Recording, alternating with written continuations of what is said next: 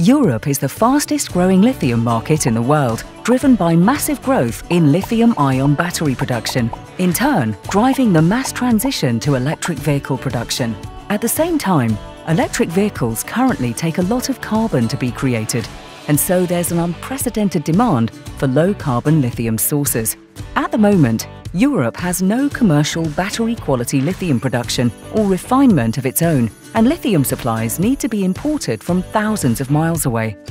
Vulcan Energy Resources is developing Europe's largest lithium project located in Germany that aims to provide zero carbon electricity and produce zero carbon lithium.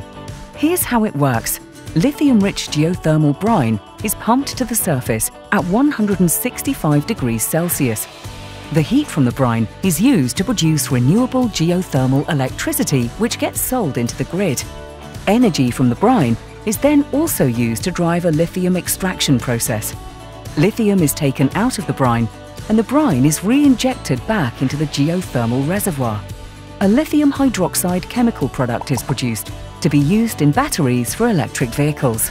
Ultimately, the Vulcan Zero Carbon Lithium process uses only half as much energy as it produces, creating the world's first premium zero carbon lithium product for sale into the European market.